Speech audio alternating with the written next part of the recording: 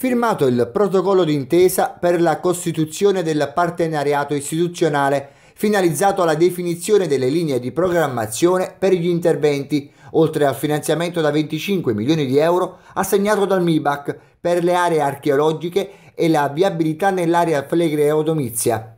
Il protocollo è stato sottoscritto dai sindaci di Giuliano, Pozzoli e Bacoli con il sottosegretario ai beni culturali Antimo Cesaro e la sovrintendente ai beni archeologici della Campania Adele Campanelli.